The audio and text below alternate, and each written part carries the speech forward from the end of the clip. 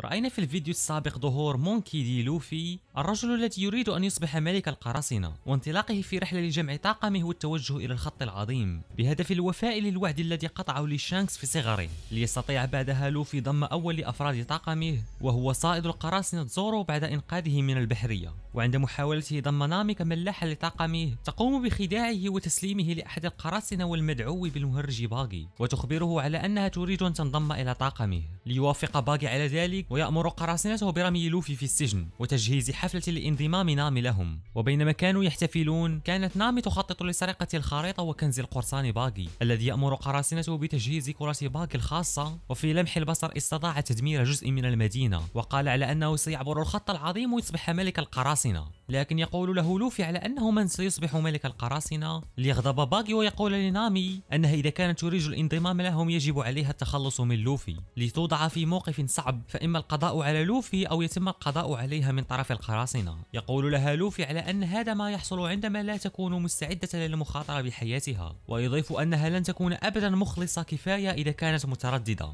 ليأخذ أحد الطاقم الكبريت ويحاول إشعال فتيل المدفع لكن تخرج نامي عصاها وتضربه على رأسه وتقول على أنها لا تريد أن تصبح مثل القراصنة الذين قتلوا شخصا عزيزا عليها لكن يخبرها لوفي على أن الفتيل ما زال مشتعل فتحاول إطفاءه لكن يكون ذلك بدون فائدة لتضطر إلى إيقافه بيدها. يحاول بعد ذلك قراصنة باغي الهجوم عليها لكن يتدخل زورو وينقذها. فيقول له لوفي على أنه تأخر وعند سماعهم اسم زورو يرتعد الجميع ليعتقد باغي على أنه أنه جاء من أجل اصطياده لكن يخبره على أنه لم يعد صائد القراصنة. فيقول باغي على أنه بقتل صائد القراصنة زورو ستزيد شهرته ومن ثم يهجم عليه ليقطعه زورو إلى نصفين. لكن يبدأ الجميع بالضحك كأن شيئا لم يحدث. وبدون سابق إنذار يطعن زورو فجأة من الخلف. ويتبين على أن باغي لم يمت بعد وبأنه أكل فاكهة الشيطان تدعى بارا بارا نو مي أو فاكهة الانقسام. ليغضب بعدها لوفي ويقول على أن الهجوم من الخلف هو عمل مشين ويصفه بذو الأنف الأحمر. ليجن جنون باغي باغي ويهجم على لوفي لكن يتصدى له بأسنانه ويكسر السيف على طريقة سايتاما الأصلع. ويخبره على أنه سيجعله يحلق عاليا. فيبدأ الكل بالضحك على ما قاله لوفي. ليبدأ هو أيضا بالضحك ويطلب من زورو الهرب لكن يهجم عليه باغي بسرعة ليتصدى له ويتوجه نحو المدفع. ثم يوجهه نحوهم ويخبر نامي أن تشعل الفتيل لتنفجر القنبلة على باغي ومن معه. وبعد تمكنهم من الهروب يقول باغي على أن هذا إعلان للحرب ليظهر شخص على ظهر أسد ويدعى موغي وقال على أنه يريد صيد زورو في تلك الأثناء يكون زورو يحمل قفص لوفي فوق ظهره بالرغم من إصابته الخطيرة. يا الله عليك زورو والله فخم.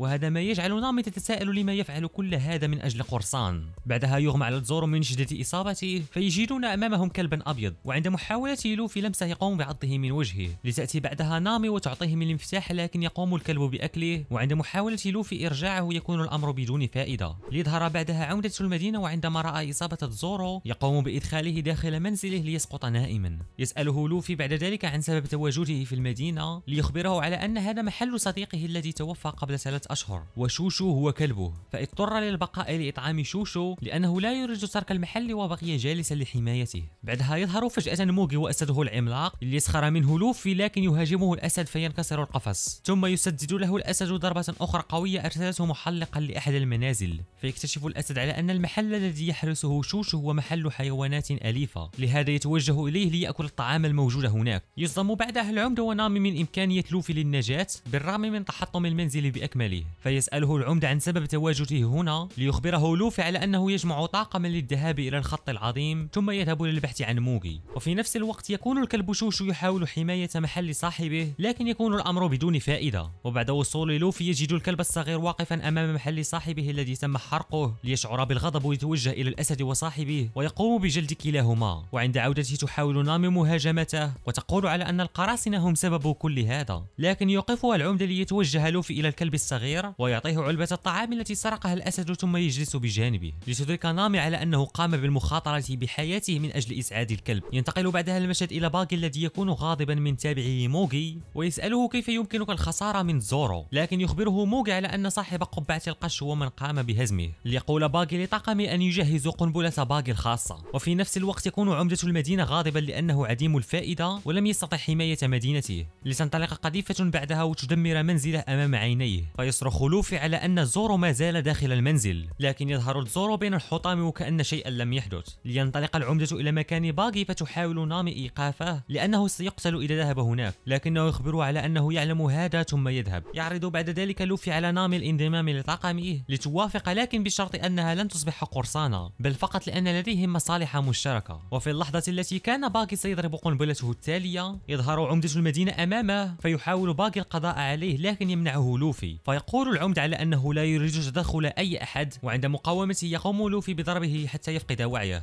لتغضب نامي من تصرف لوفي المتهور لكن يخبرها تزورو على أن هذا لمصلحته لأنه سيكون عائقا في طريقهم. يتجهز لوفي بعد ذلك ويصرخ بكل قوته يا ذو الأنف الأحمر فيغضب باغي ويأمر طاقمه أن يطلقوا عليه كرة باغي لكن يقوم لوفي بنفخ جسده والتصدي لكرة المدفع وسط صدمة الجميع. ثم يعيدها لهم. ليستطيع باغي النجاة من الانفجار باستعمال طاقمه كدرع ثم يستيقظ موغي ويخبر باغي على أن لوفي أكل فاكهة الشيطان وأنه الفتى المطاطي. يخرج بعدها أحد طاقم باغي والذي يدعى كاباغي والذي كان قد استخدم أسد موغي كدرع من الانفجار. ليهجم عليه موغي لأنه استخدم أسده كدرع لكن يقوم بركله ناحية لوفي ليقوم لوفي هو أيضا بركله ناحية الجدار. بعدها يتوجه كاباغي للهجوم على لوفي لكن يصده تزورو ويخبر لوفي أن يدع الأمر له. فيلاحظ كاباغي بعدها إصابة تزورو فيستخدم خدعة النار ويستهدف مكان الإصابة. ليسقط تزورو بعدها على الأرض متألما ثم يقوم بصنع سحابة من الغبار ويهاجم تزورو في مكان إصابته مرة أخرى لتصرخ نامي على لوفي بعدها أن يساعده لكنه لا يحرك أي ساكن. يهجم كاباغي مرة أخرى على تزورو لكنه لم يقم بتفادي هجومه ويقول على أنه سيريه الفرق بينهم. ثم يستعد لاستعمال سيوفه الثلاث لتقوم نامي بالرحيل وتقول للوفي على أنها ستذهب لسرقة كنز باغي وإذا استطاع النجاة ستقابله مرة أخرى. يهاجم بعدها كاباغي تزورو لكن يتمكن من صد هجماته ليتدخل باغي ويحاول الهجوم على تزورو هو أيضا لكن يقوم لوفي بإيقافه وإخباره على أنه عندما يقاتل تزورو عليك الجلوس والمشاهدة.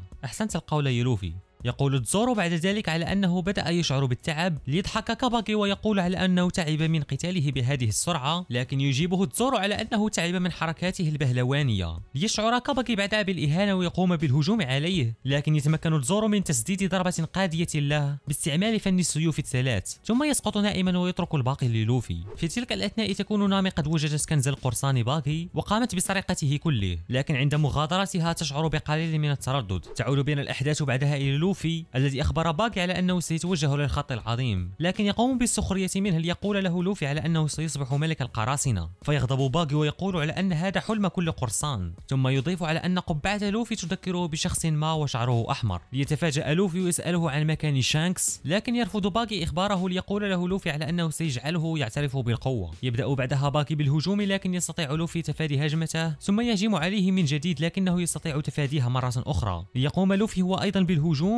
لكن يقوم باقي بفصل رأسه عن جسده لتفادي ضربة لوفي. فيغضب لوفي بعدما تم خدش قبعته ليدرك باقي على أن أهمية القبعة عند لوفي كبيرة. فيهجم عليه مرة أخرى لكن كان يستهدف القبعة. ويقول له على أنه سبق ورآها في مكان ما. ليغضب لوفي بعدها ويخبره أن يعيدها له لأنها قبعة شانكس. يتفاجأ باقي بهذا ويبدأ بالدوس على القبعة لأنه يكره شانكس. فيسأله لوفي هل أبحر معه؟ ليجيبه باقي على أنهم كانوا على متن نفس السفينة عندما كانوا قراصنة مبتدئين.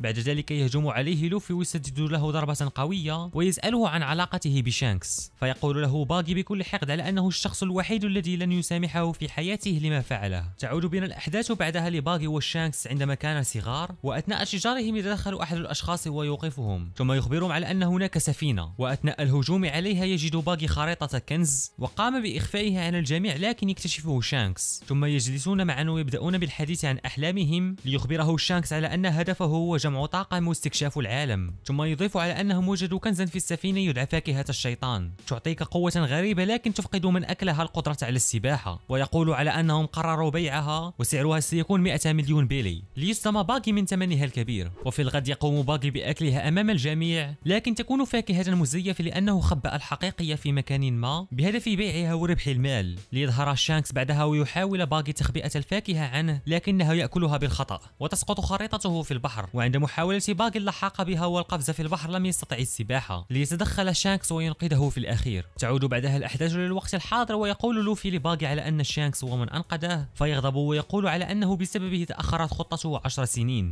ومن ثم يهجم باقي لكن يكون هجومه على نامي لأنها قد سرقت كنزه. وقبل القضاء عليها يقع أرضا. ليتضح على أن لوفي من ضربه وأنا مستقبل عائلته. في تلك الأثناء كان أهل المدينة بعد تأخر العمدة في الرجوع قد قرروا القتال لاسترجاع مدينتهم. بعدها يقول لوفي لنامي على أن تترك الكنز وتذهب لكنها ترفض ذلك وتجيبه على أنها من المستحيل أن تدع كنزها. ليقول بعدها باقي على أن هذا كنزه لكنها تجيب وتقول على أنها سارقة قراصنة لهذا سرقت كنزه فهو الآن أصبح ملكها. يتدخل لوفي ويقول على أن كلامها حقا منطقي لكن يهجم باقي بعدها على نامي وبينما كان يتخاطفان على الكنز. يقضي عليه لوفي بركلة قوية لكن يظهر على أن باقي ما زال حي. وعند محاولة الالتحام مع باقي أجزاء جسده يخرج بهذا الشكل الغريب. وتكون نامي هي التي أمسكت بباقي أجزاء جسده وربطتهم بإحكام. ليقول له لوفي وداعا ويضربه ضربة قوية طيرته في السماء. فرحت نامي بعد ذلك بحصولها على الكنز وأعطت للوفي خريطة الخط العظيم ووافقت على الانضمام لطاقمه. ليذهب لوفي بعدها لإيقاظ زورو الذي كان متعبا وغير قادرا على المشي. وفي تلك اللحظة يصل أهل المدينة ويجدون العمدة مغميا عليه. ليسألوا لوفي والبقية عما حصل. فيخبره لوفي على أنه من ضرب العمدة ويضيف ويقول على أنهم قراصنة في وسط صدمة نامي وضحكة زورو ليبدأ بعدها أهل المدينة باللحاق بهم وفي طريقهم يظهر الكلب شوشو ويحاول إيقافهم